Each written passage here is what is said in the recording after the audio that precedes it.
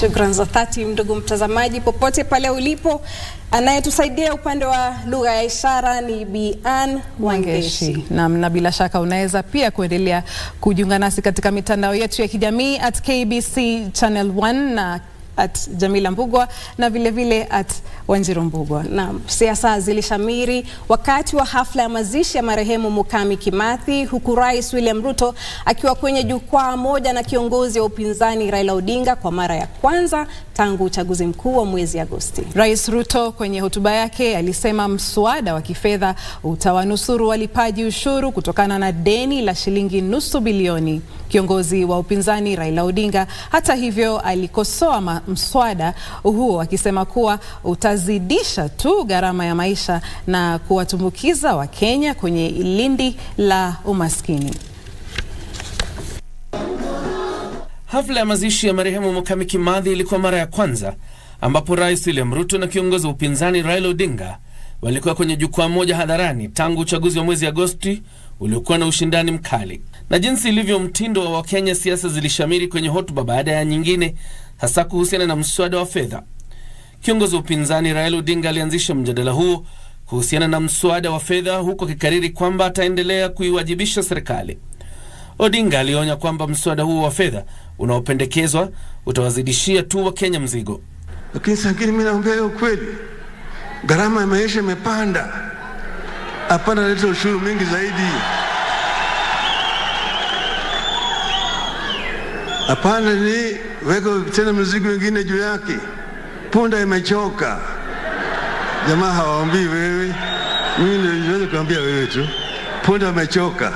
Matamshi haya ya Raila yalizua jibu kutoka kwa rais aliyotetea mswada huo wa fedha akisema utawanusuru wa Kenya kutokana na deni la mabilioni ya pesa.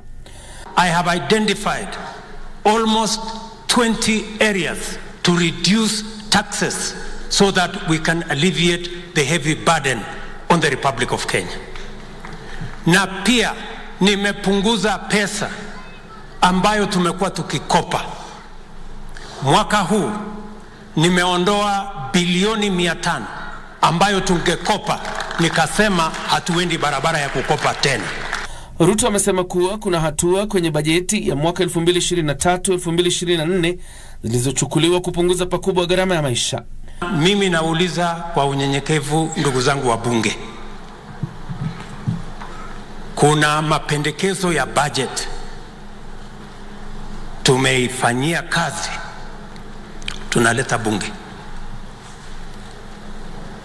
na vile eh, ndugu yangu former prime minister amesema, amesema ananijua sana, na ni kweli. Nasema ananijua, nitapiga kelele kelele, alafu nitatuliza. Na mimi pia namjua sana na nimemsoma sana, ndio nilimshinda akiwa na uhuru.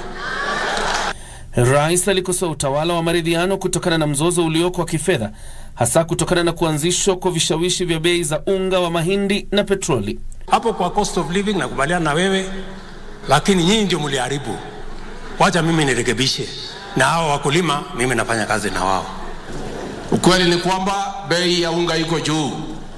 Ukweli pia ni kwamba when the hardship government was there, unga ilikuwa 240 imeteremuka ni 170, hamkufanya maandamano. That is the truth.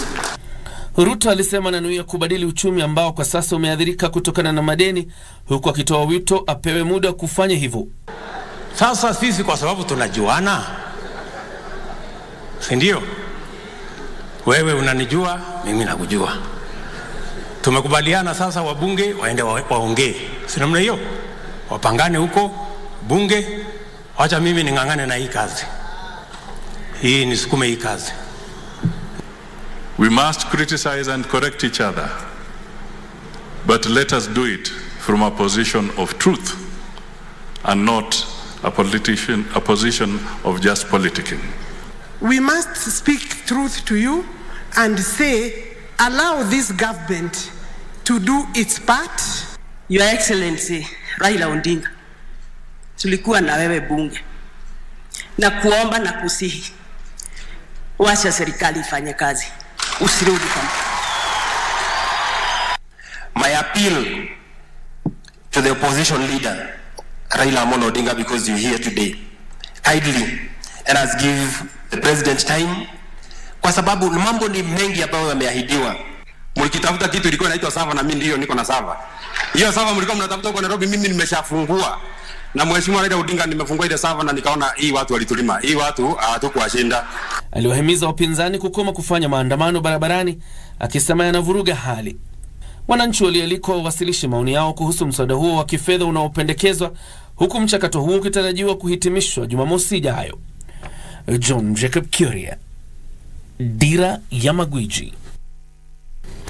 Naam, hatimaye marehemu Mukami Kimathi